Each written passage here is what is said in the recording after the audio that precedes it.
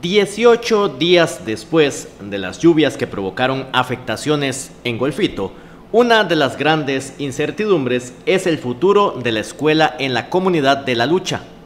En los últimos días recibieron pupitres, pero la reubicación de los estudiantes parece inminente. Me ha indicado que de parte de la ministra, doña Giselle, en esta semana vienen 20 pupitres para los niños, ¿verdad?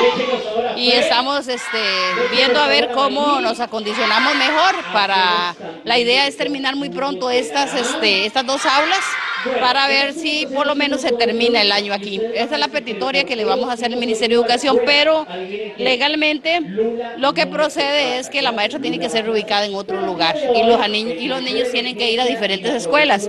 La directora de la regional del MEP de esta zona entiende que hay una situación emotiva de los niños con la maestra del centro educativo.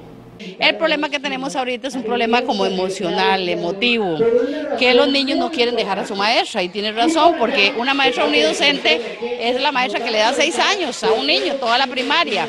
Además de que, como ya lo había dicho anteriormente en otra entrevista, la, docente es excelente, entonces eh, ella tiene una calidad educativa y entonces los padres y los niños no quieren ir a otros centros educativos aledaños no quieren dejar la maestra. Entonces, esa es la petitoria que pues vamos a conversar con las autoridades del MEP cuando tengamos el informe, porque bueno, hay especulaciones como que la escuela va a ser demolida, pero eso todavía no lo sabemos, ¿verdad? Porque eso hasta que, hasta que el informe de la Comisión Nacional nos, nos, nos lo brinden. Y es que en este momento los estudiantes están en la escuela de Los Ángeles. Y aunque están aquí, ustedes pueden ver, la maestra pues tiene su escritorio al aire libre, ellos están trabajando al aire libre porque no hay una, un aposento, pero eso no importa, lo que importa es el calor humano y que el aprendizaje continúe, ¿verdad?